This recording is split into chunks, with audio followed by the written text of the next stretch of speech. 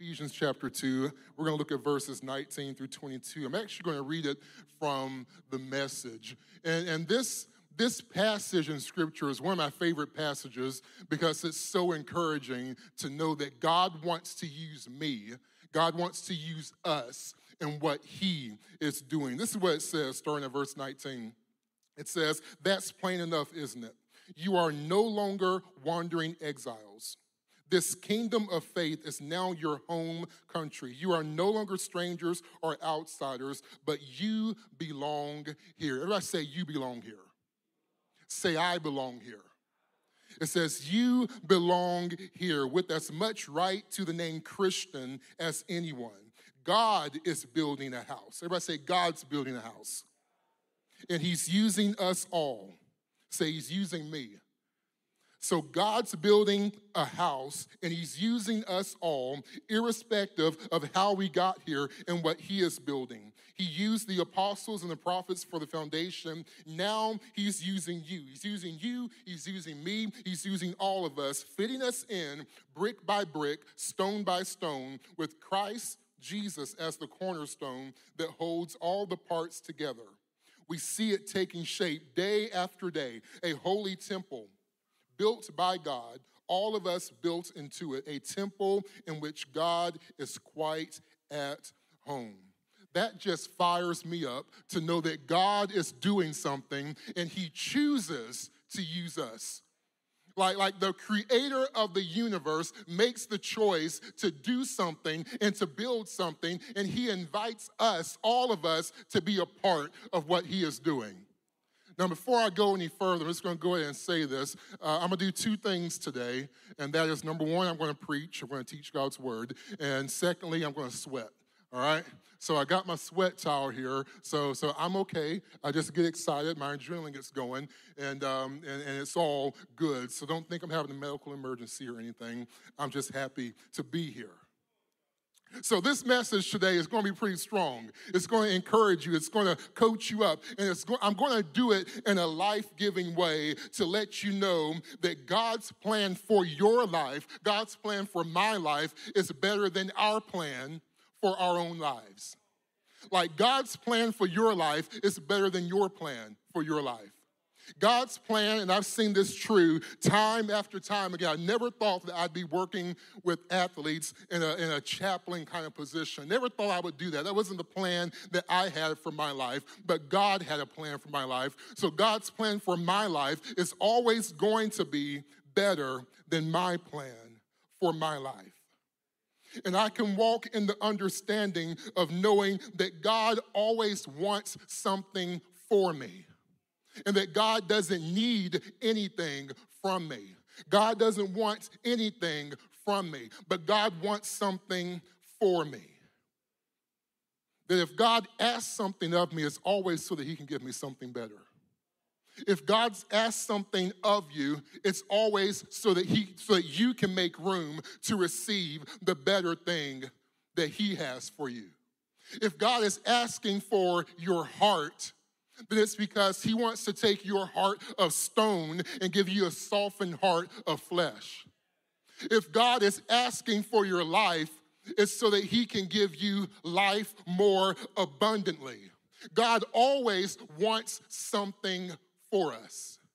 He doesn't want anything from us. And what he asks of us is so that he can get something better to us. Amen. God's plan for my life is better than my plan for my life. The Bible says that God so loved the world that he did what? That he gave. Jesus said that he came, why? So that we may have life and life more abundantly. He wants to get something to us. So, in return, on this side of things, as a preacher and as a teacher, and I know as leaders here at the Becoming Church, that, that we lead from that perspective of knowing that we're not trying to get anything from you, but we're trying to get something to you. Can I get a good amen in the house today? That, that we don't lead with, lead with selfish ambition, but we lead with generosity, with a servant heart to get something to you. And here's the thing we're going to look at Psalms 92 in just a few minutes. But, but before we look at that, I just want to say that, that God's word is powerful. I think we can, we can agree on that. That God's word is powerful. Like, but, but it's, it's only powerful when it's applied.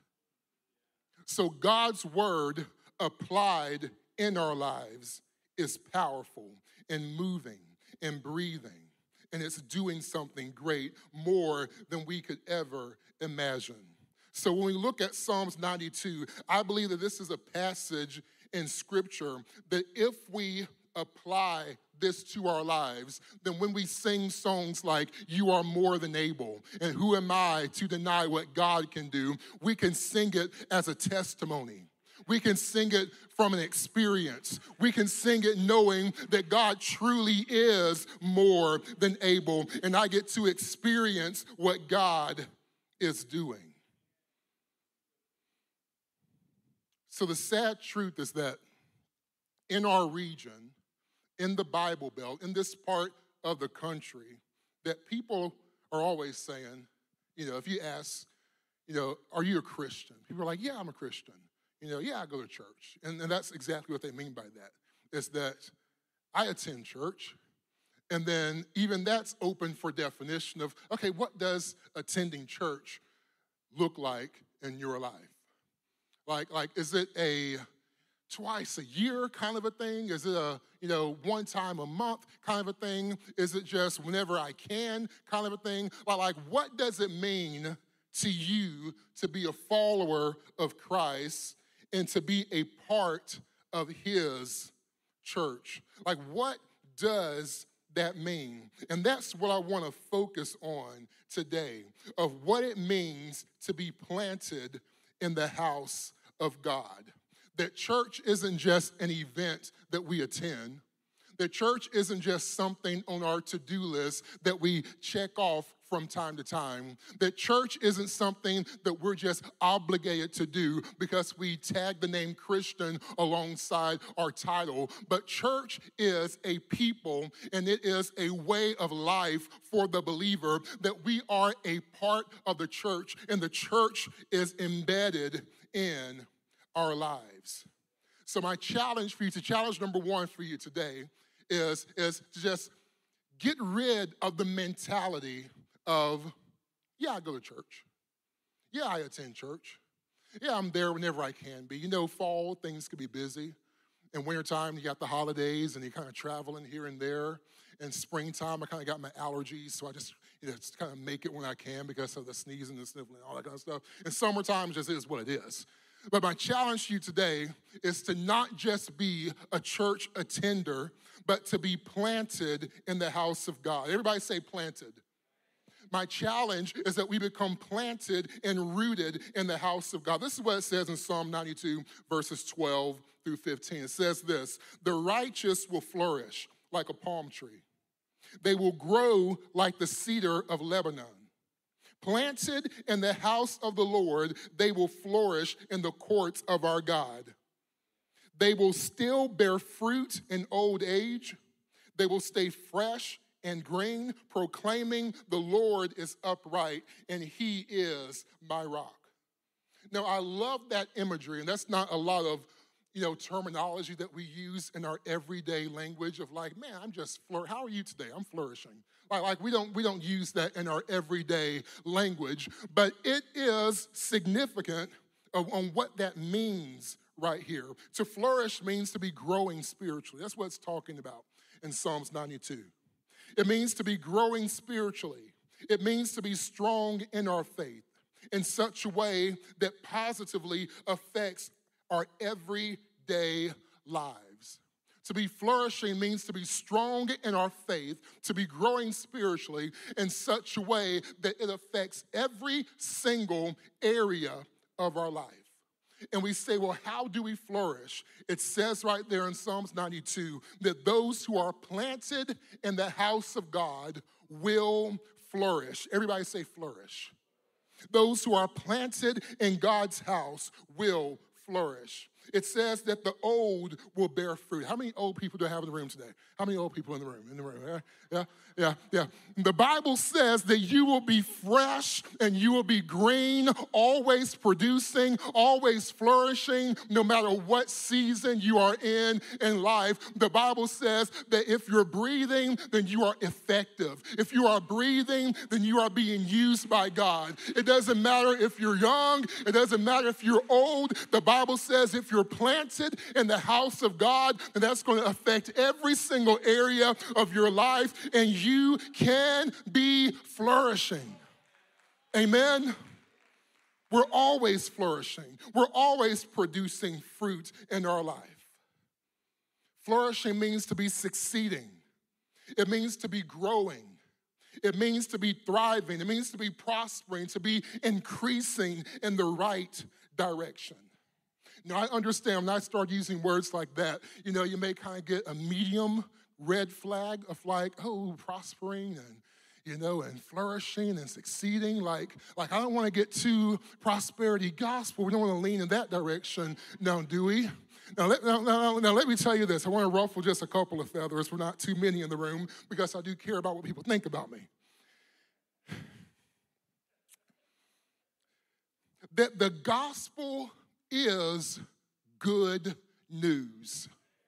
The gospel in and of itself is good news. And I understand that, that we can take it very far when we talk about success and talk about material things and stuff like that. But but but we don't have to take it that far because the gospel in and of itself is good news. The gospel is that Jesus came so that we may have life and have life more abundantly. So that's prosperity in and of itself that my soul is saved and I'm anchored in my faith. The gospel, in and of itself, is good news. There is no poverty ridden gospel. Come on now, somebody. There is no poverty ridden gospel of I'm just barely holding on in this life until I see Jesus' sweet face. But no, God wants us to be blessed so that we can be a blessing to those around us. God wants to use us in what He's doing in the earth today. God wants our lives to be a living testimony of His goodness and of His grace and of His mercy. Now, I'll be honest with you, I really didn't, you know, plan on getting super, super excited, but this stuff is good. And I'm just saying, I just may preach a little bit today because I'm sharing good news. Somebody said, take your time, don't worry. I'm, I'm not going to take too much time. There is no poverty ridden gospel. The Bible says in John 10 10 that Satan, the thief, he comes to steal, to kill, and to destroy. His way of life takes from us. But he goes on to say that Jesus comes to give life and to give it more abundantly. So when we do life our own way and when we do life Satan's way, then things are being taken from us. But when we do life God's way, then he's getting something to us so that our lives can reflect his goodness, so that our lives can reflect his mercy and grace. God wants to bless us not so that we can have more stuff for ourselves, but so that our lives can be a living testimony of who He is. Can I get a good amen in the house today? And here's my encouragement to you. If you find yourself in a difficult place in life, that doesn't necessarily mean that you're doing something wrong. It just means that you need to lean in, that you need to keep pursuing God, that you need to keep investing in the house of God, that you need to keep leaning on other godly people in your godly community to depend on them for encouragement, to depend on them to learn something from them. We're all in this together. We learn together. We grow together. We move in the right direction together. There's two ways that we can live our life it's God's plan or it's the devil's plan. Like I say, doing things my way. If I think I'm doing things my way, then that's not God's plan. That's, de- that's the devil's plan. That's the way that he entices us to say that my way is better than God's way. That's his plan for our lives. But God's plan is always better. Psalms 92 says that those who are planted, those who are rooted, those who are grounded in the house of God flourish. But unfortunately, many people experience the very opposite of that. That instead of flourishing, we feel spiritually dry. Instead of thriving, we feel emotionally withering. Instead of being connected to God's people, we feel relationally isolated. Instead of prospering, we feel stressed. And instead of living a fulfilled life, we feel empty, always searching for something. And if you feel the negative side of what I just said, then I want to encourage you on how you can get to the other side. In Psalms 92, it mentions those two trees. It mentions the cedar tree and the palm tree.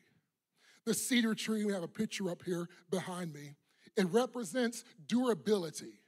That the cedar wood was used in Solomon's palace as beams, as columns that held it together. The cedar tree is known for being a beautiful tree. It's known for having a pleasant aroma. And here's my question to you Do you feel like your life is strong? Do you feel like your life is durable? Do you feel like you have an attractiveness to your life? Do you pull off a pleasant aroma to the people around you? These are the characteristics of being planted in the house of God. And then it mentions the palm branch, mentions the palm tree. And that's a symbol of triumph, it's a symbol of victory. The Romans awarded Olympic champions with palm branches. We saw where Jesus entered Jerusalem, what did they do? They threw palm branches before him. They waved palm branches around him as a symbol of triumph and victory. Are you living a triumphal life? Are you living a victorious life? These are the characteristics of being planted in the house of God. Both of those trees are evergreen trees. Everybody say evergreen. So that means that no matter what the season is, those trees are always green. Those trees are always alive. Those trees are always producing. That's what it means to be planted in the house of God. That no matter what the season is that you're going through, you're still producing. No matter what's happening around you, you still have a freshness about you. No matter what's happening in culture or in our country or in our workplace or in our family, you are still able to be a witness to the people around you because you're planted in the house of God. So, my first point in talking about these trees is how is a tree planted? What's the basic starting place of a tree? It's a seed. It's a seed. And my encouragement to you is to see your life as a seed. To see your life as a seed. When you look at a seed, it's not very impressive, but a seed is extremely significant. Why? Because a seed holds potential. A seed holds expectation. A seed holds unseen value. A seed holds unseen life. Your life is a seed. Everybody say, My life is a seed. Your life is a seed. There are great things within just waiting to come out. Oh, that's a good place to clap your hands and give God praise. To know that there are great things inside of you just waiting to come out. If a seed stays unplanted, then it's only exposed and it holds little value. Unplanted seeds are also dormant, they're unfruitful, and they're unproductive unless you're eating them, like sunflower seeds which you don't want that to happen to you. The Bible talks about the farmer who, who threw seeds, and some of the seed fell on the ground, the uh, stony road. And what happened? The birds came and they devoured them. When you're not planted, then you're exposed. When you're not planted, then you're laying there dormant, just, just waiting for life to happen. And life begins to happen to you instead of you living on purpose.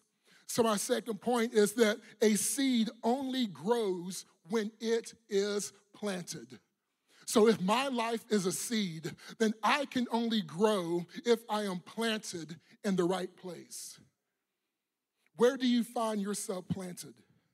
Some of us today need to take a real look at our lives, to take true evaluation and to know and to see that maybe the environment that we find ourselves in from day to day are not the right place for our seeds to be planted successfully and for our seeds to sprout and grow successfully.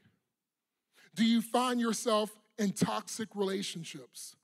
Do you find yourself being around the wrong people? being in the wrong places. Take a look at your life and say, Where am I planted? And you may say, Well, I'm here today. Attending church once a week is not the same as being planted in the house of God. Going to church is not the same as being planted in the house of God. Going to church is just going to church. Going to church is something that we can put on our to do list and see it as an event. Just going to church is something that we can choose to prioritize or not. Going to church looks like I'll go if I'm not too busy. I'll go if I'm not too tired. I'll go if there's not a game on TV. Am I going to serve? Absolutely not. Am I going to invest? Absolutely not. But I'll just show up and watch and see what's happening. I'm here to encourage you today. Amen. Those who are planted in the house of God, they never ask the question, Are we going to church? It's just a given answer that, of course, I'm going to be there and I'm going to be present. But not only am I going to be present, but I'm going to invest. I'm going to serve. I'm going to give. I'm going to tell people about what's happening at church. I'm going to be involved in small group. I'm going to be involved in the life of the church because it's not a person's church, it is Jesus' church, it is his bride. Amen? That we cannot say we love Jesus but dismiss his bride. We cannot say we love Jesus but we don't want to be a part of his people. We can't say I love God but I isolate myself from his people. God's church isn't just a location, but it is a part of our lives. His church is his people. My encouragement is to get planted in God's house. Some attend church and they experience God's presence like we did today, and we enjoy it. But some people are planted in the house of God and we experience God's presence and we are changed forever. Some go to church when they can, but some are planted in the house of God and it has an effect in every single area of their lives. Some will attend church and then look back over the years and still not be involved, and their lives still be spiritually shaky. Some are planted in house in God's house and their lives are forever changed. That they see their lives stronger no matter what's happening around them. That they're connected in godly community. That they're living in God's blessing. And life isn't perfect, but we have hope because our faith is strong, because our hope is in the right place, and because we have a love from God and from His people that sustain us. Somebody say planted. that we want to be planted in God's house, that we want to experience victory, that we want to experience joy, that we want to have a passion that goes beyond ourselves, that we want to have peace, that we want to have purpose, that we want our marriages to be thriving, that we want to be successful in every single aspect of our life because we're planted in God's house. When you're planted in God's house, you understand that church isn't just a place, it's not just a destination, it's not just a building or a school, but church is the gathering of God's people. That God, that we go all in with God's house. That we dive completely in and we see our lives changed. I believe that the becoming church is a wonderful church. Anybody believe that here today? Somebody clap your hands if you believe that this is a good house. This is a good place to be planted. That you have leaders who want the best for you. That you have leaders who preach the truth, that preach the word of God, that give you hope, and that tell you how your life can be in the right direction according to God's word there's this strange phenomenon and there's this, there's this strange idea that the enemy tries to plant in our minds. That somehow, some way, being planted and being involved in church is going to somehow mess up your life. Or that somehow, if you're going through a tough season, then you need to pull back from being involved in the house of God. I want to encourage you and just take no part in that idea that the Bible says that we take our thoughts captive and make them obedient to Christ. So take that thought captive and know that if I'm going through a tough season in life, then I need to dive more into the house of God. I need to be around people who are going to increase my faith. I need to be hearing an encouraging word from God. I don't need to back up, but I need to lean in that church doesn't mess up my life, church doesn't take away from me, but it is God's way and God's plan to get something to me. Your life is a seed, and in order to grow, then it has to be planted. So, what happens when I'm planted? Number one, your roots grow deep. When you're planted in God's house, then your roots grow deep. In Jeremiah 17, verse 8, it says this They, talking about us, are like trees planted along a river bank with roots that reach deep into the water. Such trees are not bothered by the heat. They are not worried by long months of drought. That's how we want to be. Has anybody ever been to California where the Redwood National Park is? Ever been there? Awesome. My goal is to get there in, within the next 12 months. They have these massive trees. I think I may have a picture up here. Yeah. They have these massive trees, and they're the largest living thing on the face of the earth. They say that these trees are over, they're, they're larger, they're taller than a 30 story building, and they're wider than a three story building.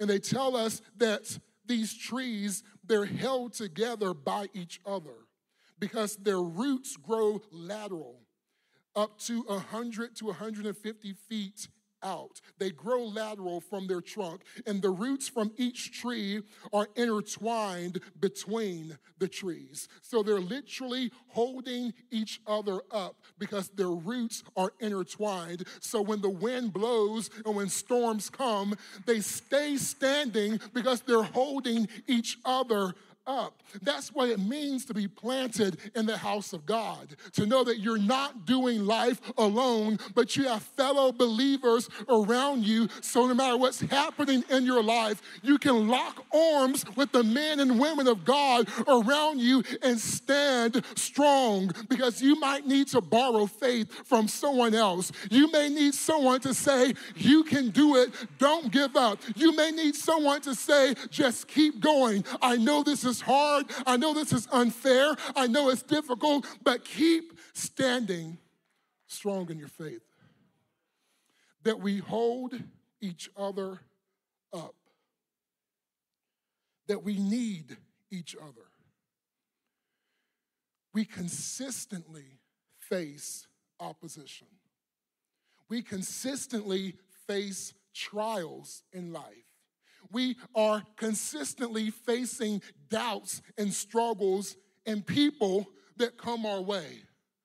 But we can continue to stand strong when we're planted in God's house because we know we're not standing alone. When we connect with the people of God in a faith filled environment, it's like a breath of fresh air. When we're connected to godly community, it increases our faith because we know that we're not alone. When we serve alongside each other, when we learn from each other, when we give and sacrifice together, we increase our faith together. The devil wants to isolate us, but God wants us in godly community.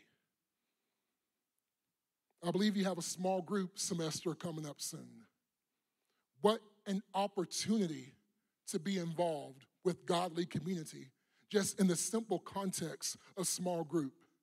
Sunday after Sunday, we all have the opportunity to serve together and to be a part of building God's house brick by brick. What a great opportunity to be planted in God's house and to be a part of community. So, what happens when we're planted in God's house? My next point is our roots produce fruit.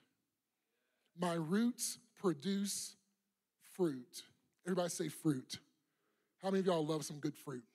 Like an orange, an apple, you know, some grapes, whatever it is. My roots produce fruit. So Jeremiah 17, 8, it goes on and it says that my roots, with roots that reach deep into the water. Such trees are not bothered by the heat, and they're not worried by long months of drought. Their leaves stay green, and they never stop producing fruit. Another lie that the devil wants to tell us is that when life gets hard, when things get hectic, is when we need to step back from God's church. But that's when we have to immerse ourselves with the people of God and get planted more deeply in God's house because trials are going to come drought is going to happen. All of these things, life is just going to life. Amen? But the Bible tells us that we're not bothered and we're not shaken through these different seasons and through these different experiences because we will still produce fruit when we're rooted and grounded in God's house. What does that fruit look like in my life? This is what it says in Galatians chapter 5, verses 22 through 20. This is the fruit of God's Holy Spirit that it's love, it's joy, it's peace, it's forbearance, it's kindness, it's goodness, it's faithfulness, gentleness, and self control. This is the fruit that it's talking about being produced in our lives when we're planted in the house of God. How many of us can use some more of that in our lives? Some more love, some more joy, some more peace, some more patience, all of the fruits of the Holy Spirit. We can all use more of that in our lives. And the way that that is produced is by being planted in God's house. That's fruit. That fruit's awesome. But my fruit is not for me. My fruit is for the people around me.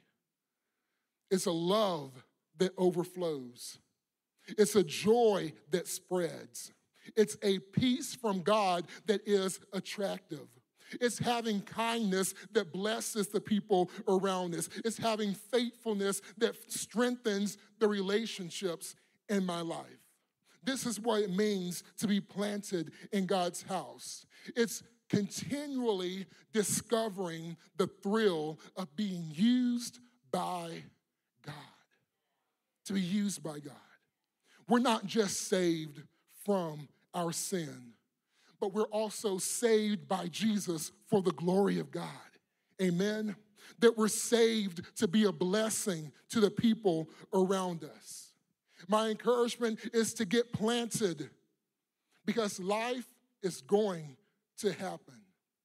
Life happens, but be present, be planted, be faithful to your godly community, be invested in the house of God. Serve in the house of God. Be in the house of God. Invite others to be a part of the house of God. Get planted here at the Becoming Church. This is an amazing place. God is on the move here. Amen. He's opening doors of opportunity here. People are getting saved. There's fresh vision here. This is a church that's hungry to reach our community, hungry to be moving forward at all time, hungry for the presence of God, hungry to always be getting better. This is a safe place to get planted. Is it a perfect place? No, but it's God's house. And we're just a part of what God's doing in the world today. Get planted in the house of God. How can we expect to defeat the powers of darkness just by attending church when we can? We have to lean in and get planted in the house, and it takes time. Many of us will say, Well, I tried it and it didn't work.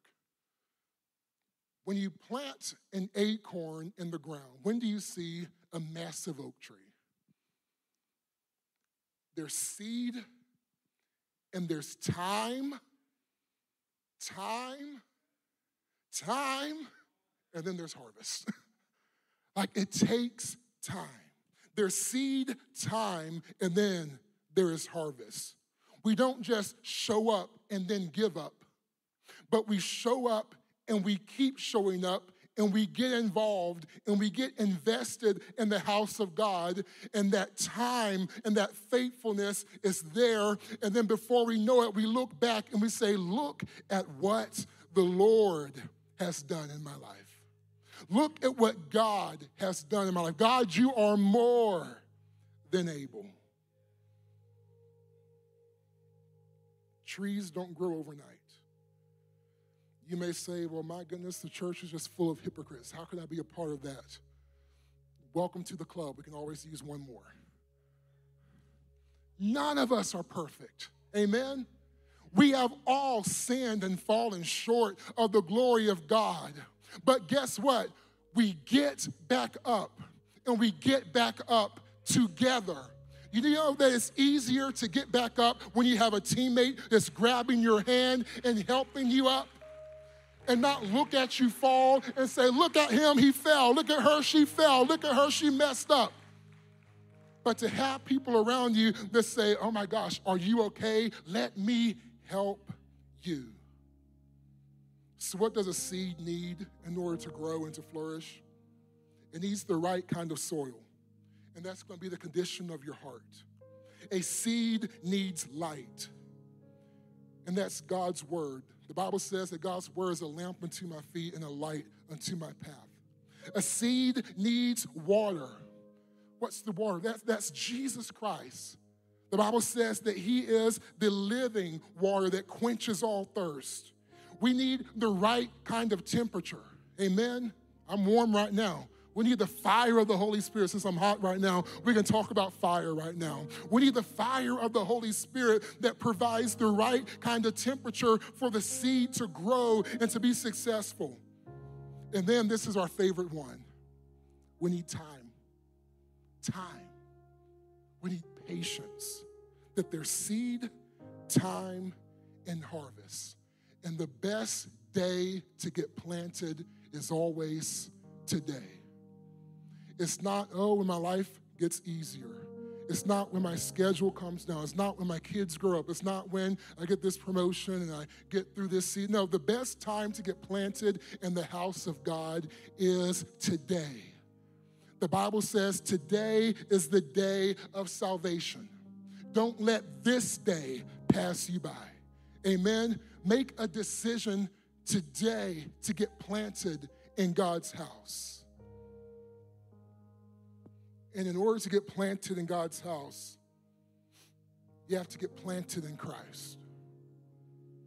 So today, if you're here today and you're like, oh, that sounds awesome and that sounds like a really great plan, and maybe it's something that I need in my life, but I don't even know who Jesus is. If that's you here today, then I want to pray with you. I want to let you know that Jesus is the best thing that could ever happen to you. He is the only way, He is the truth, and He is the life. He is the light of our salvation.